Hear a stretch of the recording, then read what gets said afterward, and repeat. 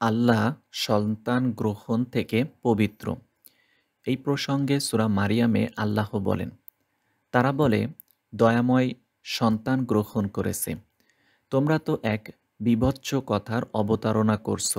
অর্থাৎ তোমাদের এই কথা অত্যন্ত ভয়াবহ, কুরুচিপূর্ণ ও নিরেট মিথ্যা। এতে যেন আকাশমণ্ডলী বিদীর্ণ হয়ে যাবে। পৃথিবী খণ্ড বিক্ষিণ্ড হবে এবং পর্বতমণ্ডলী চূর্ণ বিচূর্ণ হয়ে আপতিত হবে, যেহেতু তারা দয়াময়ের প্রতি সন্তান আরোপ করে। অথচ সন্তান গ্রহণ করা দয়াময়ের জন্য শোভন নয়। আকাশমণ্ডলী ও পৃথিবীতে এমন কেউ নেই যে দয়াময়ের নিকট বান্দারূপে উপস্থিত হবে না। তিনি তাদেরকে পরিবেষ্টন করে রেখেছেন এবং তিনি তাদেরকে বিশেষভাবে গণনা করেছেন। এবং কিয়ামত দিবসে তাদের সকলেই তার নিকট আসবে একাকী অবস্থায়। সুরা মারিয়ামের অষ্টাশি থেকে পঁচানব্বই নম্বর আয়াত। উক্ত আয়াতসমূহে আল্লাহ স্পষ্ট বলে দিয়েছেন যে, সন্তান গ্রহণ করা আল্লাহর জন্যে মোটেই শোভনীয় নয়, কেননা তিনি সব কিছুরই সৃষ্টিকর্তা এবং মালিক এবং সব কিছু তার মুখাপেক্ষী ও অনুগত। আকাশমণ্ডলী ও পৃথিবীর সকলেই তার দাস। তিনি এইসবের প্রতিপালক। আর তিনি ব্যতীত আর কোনো ইলাহ নেই, আর কোনো প্রতিপালকও নেই।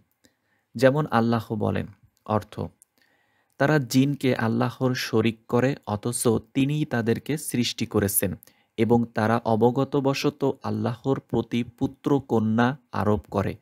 তিনি পবিত্র, মহিমান্বিত এবং তারা যা বলে, তিনি তার ঊর্ধ্বে। তিনি আসমান ও জমিনের স্রষ্টা। তার সন্তান হবে কিরূপ? তার তো কোনো স্ত্রীই নেই। তিনি তো সমস্ত কিছু সৃষ্টি করেছেন এবং প্রত্যেক বস্তু সম্পর্কে তিনিই সবিশেষ, অবহিত। তিনিই তো আল্লাহ, তোমাদের প্রতিপালক। তিনি ব্যতীত কোনো ইলাহ নেই। তিনিই সব কিছুর স্রষ্টা। সুতরাং তোমরা তার ইবাদত করো। তিনি সব কিছুর তত্ত্ববধায়ক।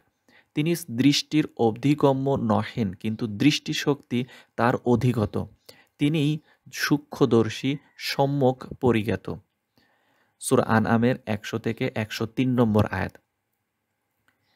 এখানে আল্লাহ স্পষ্ট জানিয়েছেন যে তিনি সব কিছুর স্রষ্টা। সুতরাং কীরূপে তার সন্তান হতে পারে? আমরা জানি সমশ্রেণীর দুইজনের মিলন ব্যতীত সন্তান হয় না।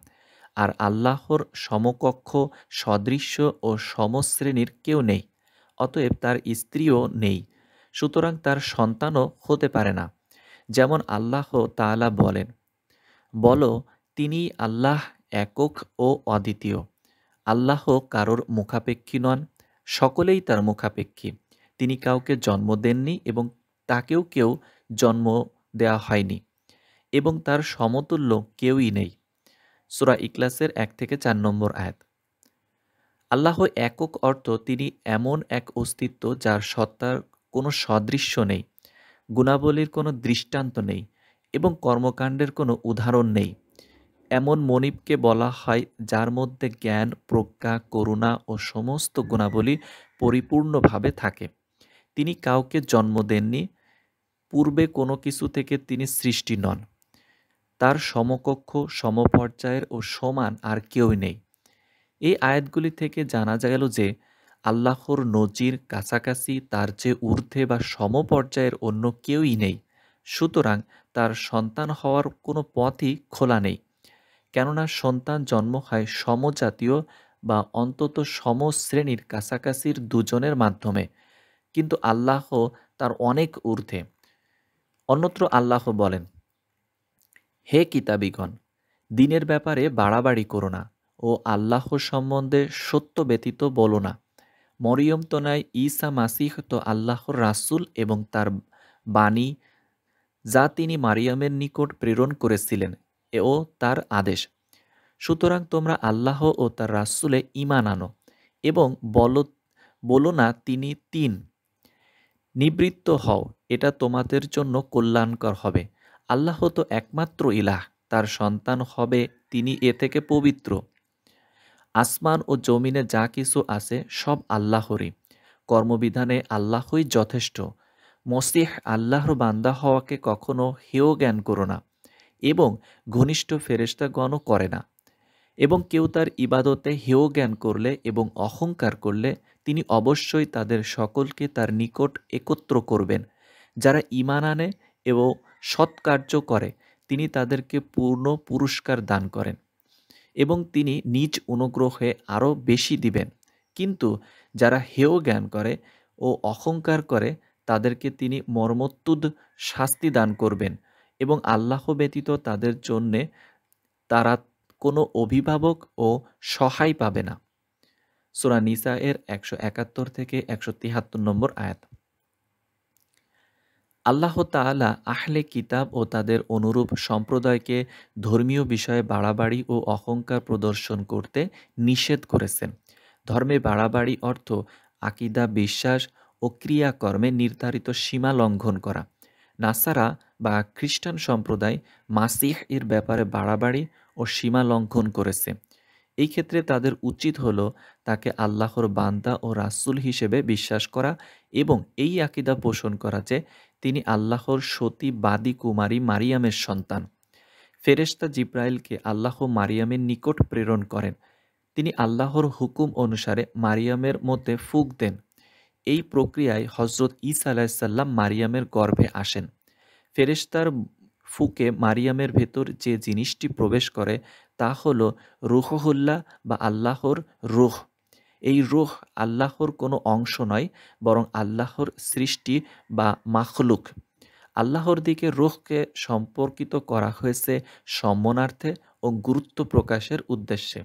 যেমন বলা হয়ে থাকে, বাইতুল্লাহ বা আল্লাহর ঘর, নাকাতুল্লাহ বা আল্লাহর উষ্ট্রি, আবদুল্লাহ বা আল্লাহর বান্দা ইত্যাদি।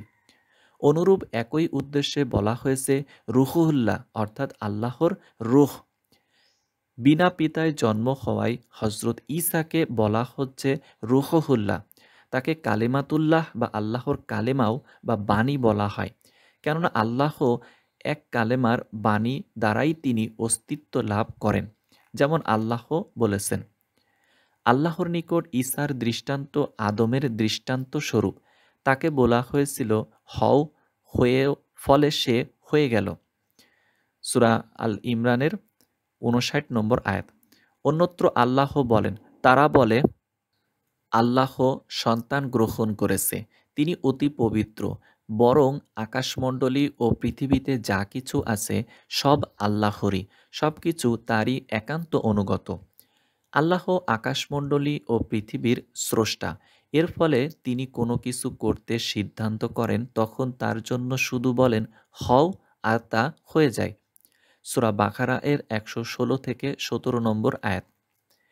এখানে আল্লাহ তালা বলেছেন, ইহুদিরা বলে, উজাহর আল্লাহর পুত্র ও খ্রিস্টানরা বলে, মসিহ আল্লাহর পুত্র। এটা তাদের মুখের কথা। পূর্বে যারা কুফরি করেছিল, এরা তাদের মতো কথা বলে। আল্লাহ ওদেরকে ধ্বংস করুন। তারা কেমন করে সত্য বিমুখ হয়? সুরা তওবা এর তিরিশ নম্বর আয়াত। এখানে আল্লাহ জানিয়ে দিয়েছেন যে, ইয়াহুদি ও খ্রিস্টান অভিশপ্ত উভয় দলই আল্লাহর ব্যাপারে অন্যায় ও অযৌক্তিক দাবি করেছে এবং ধারণা করছে যে, আল্লাহর পুত্র সন্তান আছে। অথচ তাদের এই দাবির বহু ঊর্ধ্বে আল্লাহর মর্যাদা। আল্লাহ আরও জানিয়েছেন যে, তাদের এই দাবি সম্পূর্ণ মন গড়া এদের পূর্ববর্তী পথভ্রষ্ট মানুষও এই জাতীয় মন গড়া উক্তি করেছে।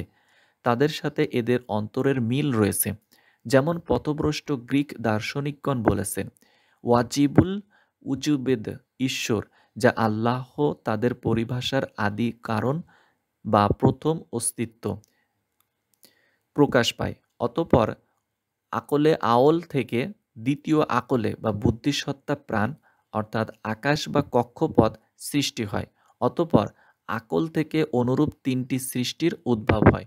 এভাবে চলতে চলতে বুদ্ধিসত্তা দশটি প্রাণ নয়টি ও আকাশ কক্ষপথ নয়টিতে গিয়ে শেষ হয়েছে। এগুলির প্রত্যেকটির যে সব নাম উল্লেখ করেছে এবং তাদের শক্তি ও ক্ষমতার যে বর্ণনা দিয়েছে তা সম্পূর্ণ মিথ্যা মন গড়া ও নেহাত ধারণা প্রসূত তাদের বক্তব্যের অসারতা, ভ্রষ্টতা, মূর্খতা বর্ণনা করার স্থান এটা নয়।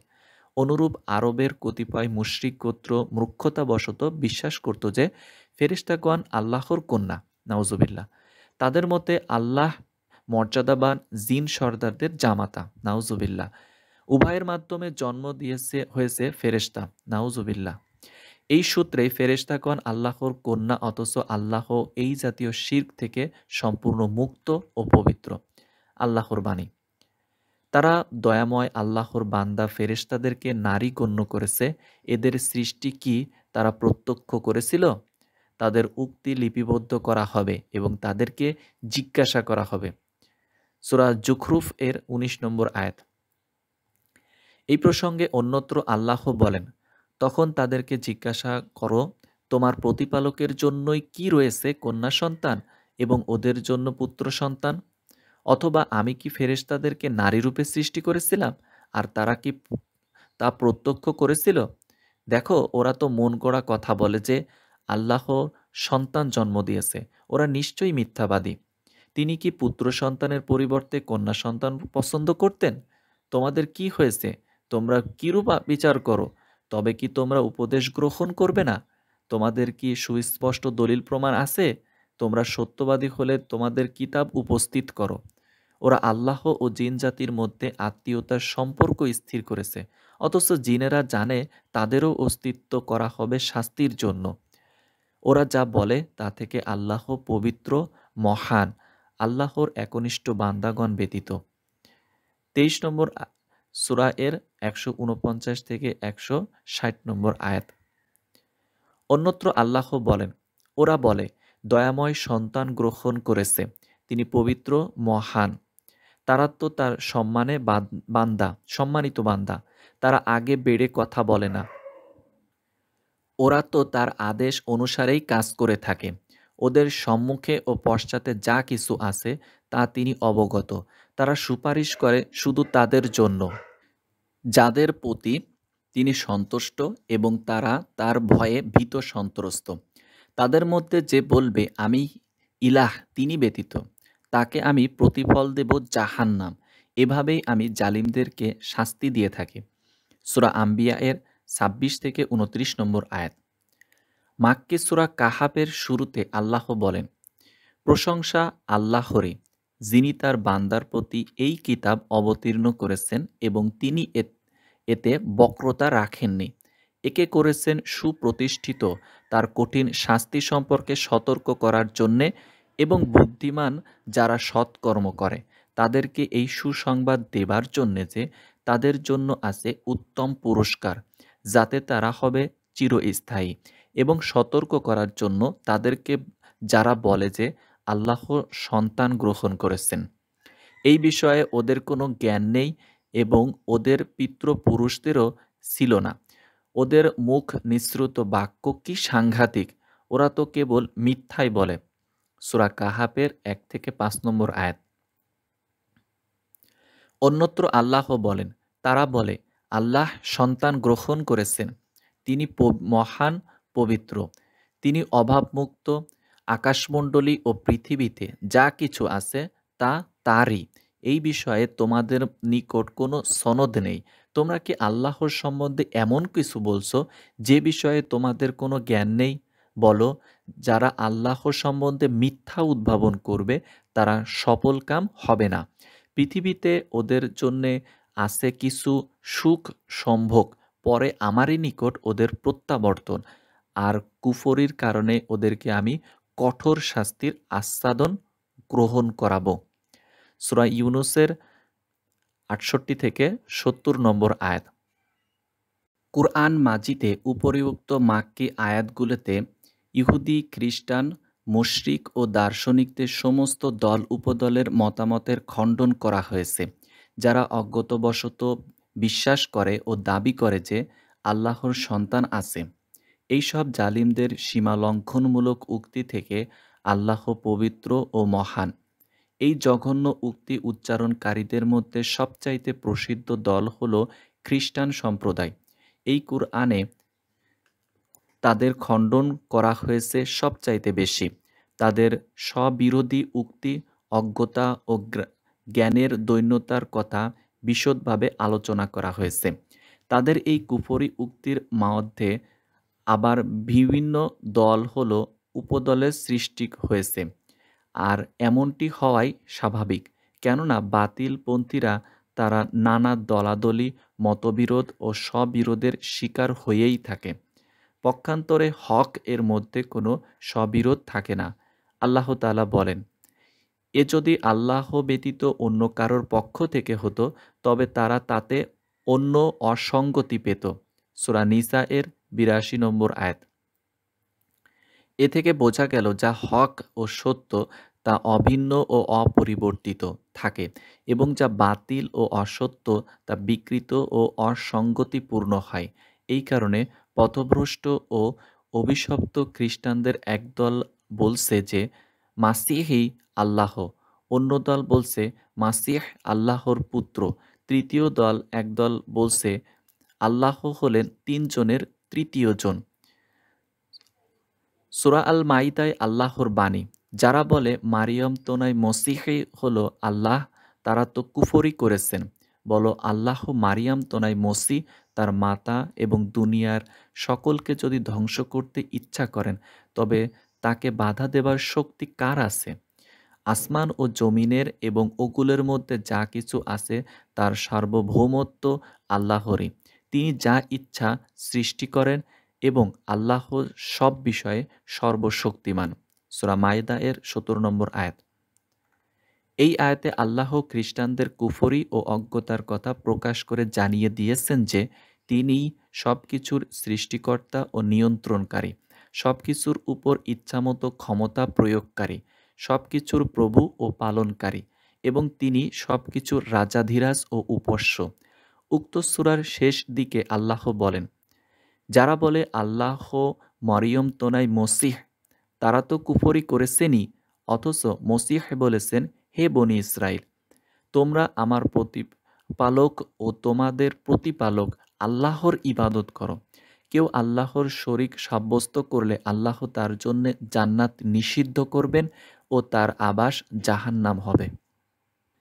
জালিমদের জন্য কোনো সাহায্যকারী নেই।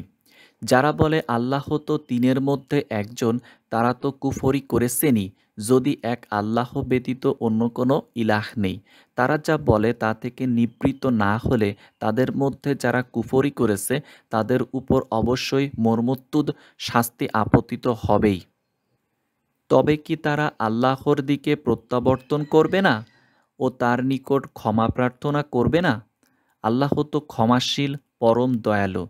মারিয়ম তনায় মসিহ তো কেবল একজন রাসুল। তার পূর্বে বহু রাসুল গত হয়েছে এবং তার মাতা সত্যনিষ্ঠ ছিল। তারা উভয়ে খাদ্য গ্রহণ করত। দেখো, আমি ওদের জন্য আয়াত স্বরূপ কীরূপ বিশদভাবে বর্ণনা করি। আরও দেখো, ওরা কীভাবে সত্য বিমুখ হয়। সুরাল মাইদা এর বাহাত্তর থেকে পঁচাত্তর নম্বর আয়াত।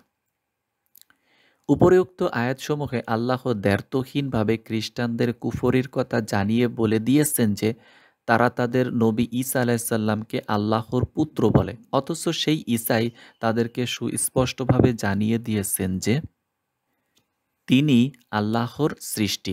আল্লাহই তাকে প্রতিপালন করেছেন এবং মায়ের গর্ভে তাকে আকৃতি দান করেছেন। তিনি এক ও অদ্বিতীয় আল্লাহর ইবাদতের দিকে মানুষকে আহ্বান করেছেন এবং বিরুদ্ধকারীদেরকে পরকালের শাস্তি, লাঞ্ছনা ও ব্যর্থতা ও জাহান্নামের ভীতি প্রদর্শন করেছেন আল্লাহর বাণী।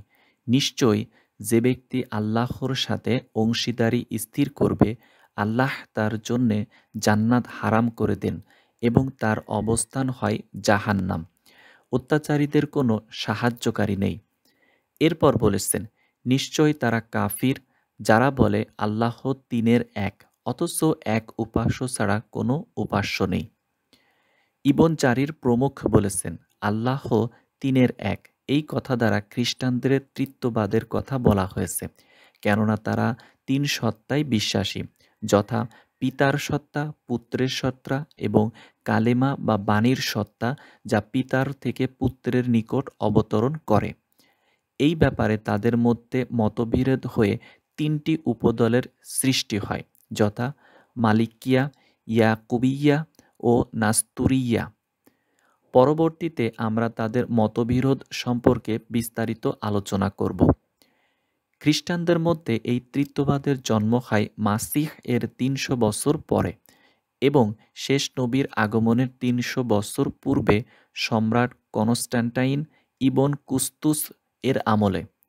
এই কারণে আল্লাহ বলেছেন, এক উপাস্য ব্যতীত অন্য কোনো উপাস্য নেই, অর্থাৎ আল্লাহ ছাড়া আর কোনো প্রভু নেই, তিনি একক, তার কোনো শরিক নেই। তার কোনো সদৃশ্য নেই, তার কোনো সমতুল্য নেই, তার কোনো স্ত্রী নেই, সন্তান নেই। এরপর তাদেরকে সাবধান ও সতর্ক করে আল্লাহ বলেন, তারা যদি তাদের এসব কথা হতে বিরত না হয়, তবে তাদের মধ্যে যারা কুপরি করেছে, তাদেরকে কঠিন যন্ত্রণাদায়ক শাস্তি দান করা হবে। অতপর আল্লাহ তাদেরকে তার নিজ করুণা বসে এসব জঘন্য বিষয় থেকে তওবা ও ইস্তেকফারের দিকে আহ্বান করে বলেছেন। তারা কি আল্লাহর নিকট তওবা করবে না? তার নিকট ক্ষমা চাইবে না? বস্তুত আল্লাহ বড় ক্ষমাশীল, পরম দয়ালু। এরপরে আল্লাহ হজরত ঈসা ও তার মায়ের অবস্থা বর্ণনা করেছেন। তিনি বলেন যে, মসিহ কেবল আল্লাহর বান্দা ও রাসুল এবং তার মা একজন পবিত্র ও সত্যনিষ্ঠা মহিলা, পাপাচারিণী নয়। অথচ অভিশপ্ত ইহুদিরা তার উপর ঐরূপ অপবাদ দিয়ে থাকে। এই আয়াত থেকে প্রমাণিত হয় যে মরিয়ম নবী ছিলেন না, যেমনটা আমাদের একদল আলিম ধারণা করেছেন। তারা উভয়ই খাদ্য গ্রহণ করত। এই কথা দ্বারা ইঙ্গিত করা হয়েছে যে অন্যদের মতো তাদেরও পেশাব পায়খানার প্রয়োজন হতো। এমন তো অবস্থায় তারা ইলাহ নন, ইলাহ হন কী রূপে? আল্লাহ তাদের এই মূর্খব্যঞ্চক উক্তি থেকে মুক্ত ও পবিত্র। শুদ্ধি প্রমুখ আলিমগান বলেছেন, আল্লাহর বাণী। নিশ্চয় তারা কাফির, যারা বলে, আল্লাহ তিনজনের একজন। এখানে ঈসা ও তার মাকে সম্পর্কে খ্রিস্টানদের বিশ্বাসের কথা বলা হয়েছে। তারা ঈসা ও তার মা ইলাহ বলতো, যেমন ইলাহ বলতো আল্লাহকে। এই সুরার শেষ দিকে আল্লাহ তাদের এই বিশ্বাসের কথা উল্লেখ করেছেন, আল্লাহর বাণী। আল্লাহ যখন বলবেন, হে মারিয়ম তোনাই ঈসা, তুমি কি লোকেদেরকে বলেছিলে যে তোমরা আল্লাহ ব্যতীত আমাকে ও আমার মাকে ইলাহ রূপে গ্রহণ করো? সে বলবে, তুমিই মহিমান্বিত, যা বলার অধিকার আমার নেই, তা বলা আমার পক্ষে শোভন নয়। যদি আমি তা বলতাম, তবে নিশ্চয়ই তুমি তা জানতে। আমার অন্তরে যা আছে, তা তো তুমি অবগত আসো কিন্তু তোমার অন্তরে কি আছে, আমি তা অবগত নই। তুমি তো অদৃশ্য সম্বন্ধে সম্যক পরিজ্ঞাত। তুমি আমাকে যে আদেশ করছ, তা ব্যতীত তাদেরকে আমি কিছুই বলিনি। তা এই, তোমরা আমার ইবাদ, তোমরা আমার ও তোমাদের প্রতিপালক আল্লাহর ইবাদত করো। এবং যতদিন আমি তাদের মধ্যে ছিলাম, ততদিন আমি ছিলাম তাদের কার্যলাপের সাক্ষী। কিন্তু যখন তুমি আমাকে তুলে নিলে, তখন তুমিই তো ছিলে তাদের কার্যলাপের তত্ত্বাবধায়ক এবং তুমিই সর্ববিষয়ে সাক্ষী। তুমি যদি তাদেরকে শাস্তি দাও, তবে তারা তো তোমারেদেরই বান, তোমারই বান্দা। আর যদি তাদেরকে ক্ষমা করো, তবে তুমি তো পরাক্রমশালী প্রজ্ঞাময়। সুরা মায়েদা এর একশো ষোলো থেকে আঠারো নম্বর আয়াত। এখানে আল্লাহ ভবিষ্যতের সংবাদ দিয়েছেন যে কিয়ামতের দিন আল্লাহ হজরত ঈসা আলাইসাল্লামকে তার উম্মত সম্পর্কে জিজ্ঞাসা করবেন। তার উম্মাতের মধ্যে তাকে আল্লাহ তাকে যারা আল্লাহর পুত্র অথবা আল্লাহর শরিক অথবা তাকেই আল্লাহ বলে বিশ্বাস করত এবং ইসাই তাদেরকে এই বিশ্বাস করতে বলেছেন বলে তার উপর মিথ্যা আরোপ করেছে, তাদের ব্যাপারে এই জিজ্ঞাসাবাদ করা হবে। আল্লাহ তো ভালো রূপেই জানেন যে ঈসা এইরূপ কথা আদৌ বলেননি। তবুও তাকে জিজ্ঞাসা করবেন, তার সত্যতা, মিথ প্রকাশ ও মিথ্যা আরোপকারীদের মুখোশ উন্মোচন করার উদ্দেশ্যে। আল্লাহ তাকে জিজ্ঞাসা করবেন, হে ঈসা ইবন মারিয়াম, তুমি কি লোকেদেরকে বলে দিয়েছিলে যে আল্লাহকে ছেড়ে আমাকে ও আমার মাকে উপস্য সাব্যস্ত করো? ঈসা আলাহিসাল্লাম বলবেন, আপনি পবিত্র, অর্থাৎ আপনি সকল শরিকের ঊর্ধ্বে। আমার জন্য শোভা পায় না যে আমি এমন কথা বলি, যা বলার কোনো অধিকার আমার নেই। অর্থাৎ আপনি ব্যতীত এই কথা বলার অধিকার অন্য কারোর নেই। যদি আমি বলে থাকি, তবে আপনি অবশ্যই পরিজ্ঞাত। আপনি তো আমার মনে যা আছে জানেন, এবং আমি যা জানি না, যা আপনার মনে আছে। নিশ্চয় আপনি অদৃশ্য বিষয়ে জ্ঞাত। হজরত ইসা আলাহিসাল্লাম এভাবে আদবের পরাকাষ্ঠ প্রদর্শন করেছেন। আমি কি তো তাদেরকে কিছুই বলিনি সরি আমি তো তাদেরকে কিছুই বলিনি, শুধু সে কথাই বলেছি যা আপনি বলতে আদেশ করেছেন। অর্থাৎ যখন আমাকে রসুল রূপে প্রেরণ করেন এবং আমাকে কিতাব দান করেন যা তাদেরকে আমি পড়ে শোনাই, অতপর তিনি তাদেরকে যা বলেছেন তা ব্যাখ্যা করে বলেন তোমরা আল্লাহর দাসত্ব অবলম্বন করো, যিনি আমার ও তোমাদের প্রতিপালক। অর্থাৎ যিনি আমারও সৃষ্টিকর্তা, তোমাদেরও সৃষ্টিকর্তা এবং যিনি আমারও রিচিকদাতা তোমাদেরও রিচিকদাতা আমি তাদের সম্পর্কে অবগত ছিলাম, যতদিন তাদের মধ্যে ছিলাম। অর্থাৎ যখন আপনি আমাকে তুলে নিলেন, অর্থাৎ তারা যখন আমাকে হত্যার ও শুলে দেওয়ার ষড়যন্ত্র করে, তখন দয়া পরবশ হয়ে আপনি আমাকে তাদের হাত থেকে উদ্ধার করে আপনার নিকট তুলে নেন এবং তাদের একজনের চেহারাকে আমার চেহারায় পরিবর্তন করে দেন। ফলে তারা তার উপর আক্রমণ করে ও নিজেদের জিঘাংসা চরিতার্থ করে। এই অবস্থা হওয়ার পরে আপনি তাদের সম্পর্কে অবগত রয়েছেন। আপনি সর্ববিষয়ে পূর্ণ পরিজ্ঞাত। এরপর হজরত ঈসা তার অনুসারী নাসারা বা খ্রিস্টানদের থেকে নিজের সম্পর্ক ছিন্ন করে তাদের ব্যাপারটি আল্লাহর নিকট সপর্দ করে বলেন, যদি আপনি তাদেরকে শাস্তি দেন, তবে তারা আপনার দাস। অর্থাৎ তারা সে শাস্তির উপযুক্ত। আর যদি আপনি তাদেরকে ক্ষমা করেন, তবে আপনি পরিক্রান্ত মহাবিজ্ঞ। ক্ষমা করার ব্যাপারে আল্লাহর ইচ্ছার উপর সপর্দ করার অর্থ এই নয় যে বাস্তবেও তাদেরকে ক্ষমা করা হবে। এজন্যই এখানে আল্লাহর গুণাবলীর মধ্য থেকে গাফুরুর রহিম বা ক্ষমাশীল দয়ালু না বলে আজিজুন হাকিম বা মহাপ্রকা পরাক্রমশালী প্রজ্ঞাময় বলা হয়েছে।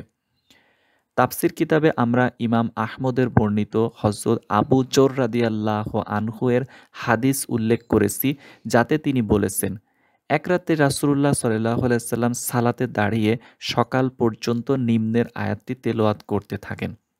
অর্থ, আপনি যদি তাদেরকে শাস্তি দেন, তবে তারা তো আপনারই দাস, আর যদি তাদেরকে ক্ষমা করেন, তবে আপনি মহাপরাক্রমশালী ও প্রজ্ঞাময়। রাসুল্লাহ সাল্লাহ আলাইসাল্লাম বলেন, আমি আল্লাহর নিকট আমার উম্মতের জন্য সাফায়াত প্রার্থনা করলে তিনি আমাকে তা দান করেন। আল্লাহ চাহে তো মুশরিক ব্যতীত অন্যান্য পাপি বান্দারা তা লাভ করবে। এরপর তিনি নিম্নলিখিত আয়াতসমূহ পাঠ করেন। আকাশ ও পৃথিবী এবং যা কিছুর অন্তর্বর্তী তা আমি ক্রিয়াচ্ছলে সৃষ্টি করিনি। আমি যদি ক্রিয়ার উপকরণ চাইতাম তবে আমি আমার নিকট যা আছে তা নিয়েই তা করতাম। আমি তা করিনি, কিন্তু আমি সত্য দ্বারা আঘাত, হানি, মিথ্যার উপর। ফলে তারা মিথ্যাকে চূর্ণ বিচূর্ণ করে দেয় এবং তৎক্ষণাৎ মিথ্যা নিশ্চিন্ন হয়ে যায়। দুর্ভোগ তোমাদের, তোমরা যা বলছো তার জন্যে। আকাশমণ্ডলী ও পৃথিবীতে যারা আছে, তারা তারই। তার সান্নিধ্যে যারা আছে, তারা অহংকার বসে, তার ইবাদত করা থেকে বিমুখ হয় না। এবং শ্রান্তও বোধ করে না। তারা দিনরাত তার পবিত্রতা ও মহিমা ঘোষণা করে, তারা শৈতুল্য করে না। সুরা আম্বিয়া এর ষোলো থেকে বিশ নম্বর আয়াত। আল্লাহ বলেন, আল্লাহ সন্তান গ্রহণ করতে ইচ্ছা করলে তিনি তার সৃষ্টির মধ্যে যাকে ইচ্ছা মনোনীত করতে পারেন, পবিত্র ও মহান তিনি। তিনি আল্লাহ এক প্রবল পরাক্রমশালী। তিনি যথাযথভাবে আকাশমণ্ডলী ও পৃথিবী সৃষ্টি করেছেন। তিনি রাত দ্বারা দিনকে আচ্ছাদিত করেন এবং রাতকে আচ্ছাদিত করেন দিনের দ্বারা। সূর্য ও চন্দ্রকে তিনি করেছেন নিয়মাধীন। প্রত্যেকেই পরিভ্রমণ করে এক নির্দিষ্ট কাল পর্যন্ত। জেনে রেখো, তিনি পরাক্রমশালী, ক্ষমাশীল।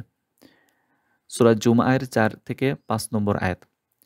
আল্লাহ আরও বলেন, বলো দয়াময় আল্লাহ কোনো সন্তান থাকলে আমি হতাম তার উপাসকগণের অগ্রণী।